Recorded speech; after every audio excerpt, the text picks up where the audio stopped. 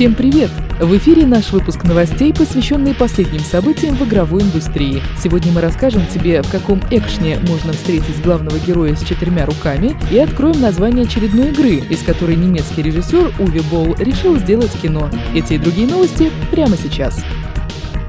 Age of Conan Новость о переносе даты релиза онлайновой ролевки Age of Conan чрезвычайно расстроила всех, кто следит за судьбой проекта. Геймеры надеялись посетить героическую фэнтези-вселенную этой осенью, однако премьеру игры сдвинули на конец марта будущего года. Пока разработчики акцентируют внимание на доселе неизвестных фичах проекта, вроде осады и обороны замков. Напомним, что российским издателем Age of Conan стала фирма 1С. Компания сначала выпустит англоязычную версию, а спустя некоторое время появится локализация.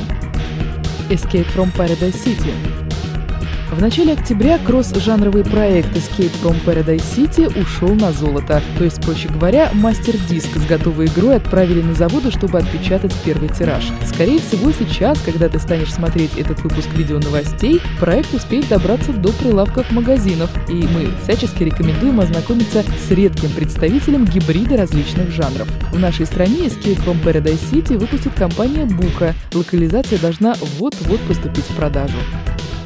Беовульф.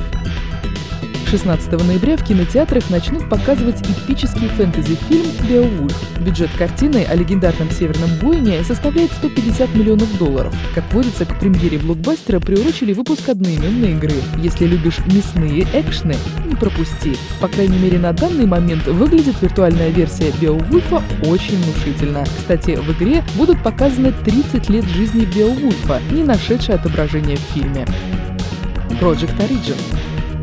Если кто еще не в курсе, Project Origin — это название сиквела к шутеру от первого лица Fear. Разработчики позволили геймерам самим выбирать имя для новой истории о жуткой девочке Альме. Онлайновое голосование завершилось безоговорочной победой Project Origin. Сложно сказать, чем полюбилось это название сиквела, однако вовсе не в нем дело. Игра выйдет в будущем году, а нам пока остается следить за событиями.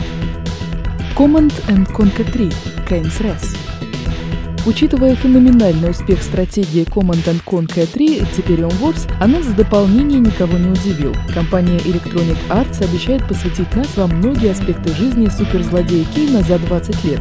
Также аддон принесет с собой две дюжины многопользовательских карт. Издатель по-прежнему намерен превратить третью часть Command Conquer в киберспортивную дисциплину и старается изо всех сил. Успех, в общем, предсказать не так уж и сложно.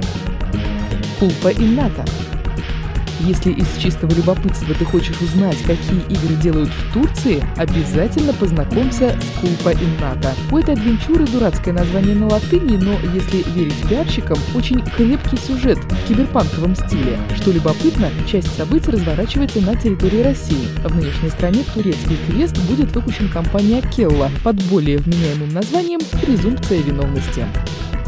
Legend – Hand of God Немецкий ролевой экшен Legend Hand of God самонадеянно претендует на лавры убийцы Дьябла. Сомневаемся, что разработчики игры смогут заткнуть за пояс Blizzard Entertainment. Но тем не менее им уже удалось продать права на экранизацию. Правда, делать фильм по Legend Hand of God собрался не именитый режиссер, а обладатель титула «Худший киноремесленник» Уви Болл. Ему понравилась фэнтези-вселенная, показанная в игре, и лихо закрученный сюжет. Болл планирует приступить к съемкам уже в следующем году. Mutant. Action Mutant разрабатывается чешской студией Napoleon Games. Игра выдержана в лучших традициях трэшевых фильмов ужасов.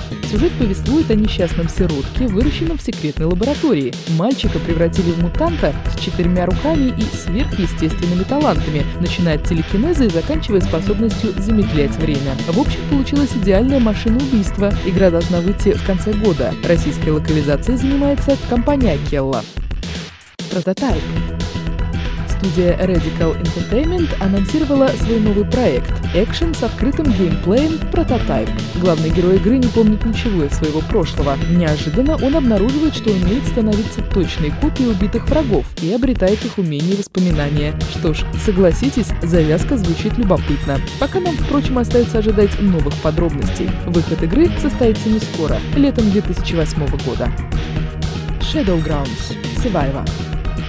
Финская компания Frozen Byte завершает работу над аркадным экшеном Shadow Grounds Survivor. Игра выдержана в духе Alien Shooter и подарит многие часы бездумного, но радостного отстрела монстров. Отличный шанс немного расслабиться среди традиционного марша тяжеловесов этой осенью.